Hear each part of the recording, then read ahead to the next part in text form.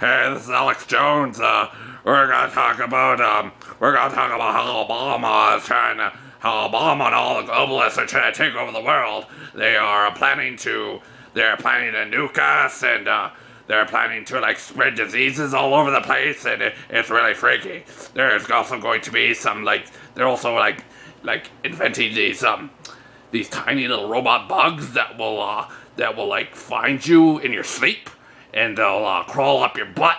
They'll crawl up your butt, and uh, yeah, they'll like um, they'll like film the insides of your. They'll, they'll film the insides of your butt and stuff. It's it's it's it's just really thick. Like that Obama, he's just a sick individual. Okay, all right, guys, he's just a real sick individual. He needs to be he needs to be taken down. Okay, he needs to be taken down. All right, fuck that Obama, a fucking bitch.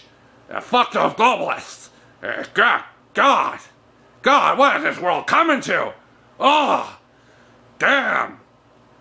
Those, those, those globalists, they're gonna kill us all, I tell you. They're gonna kill us all!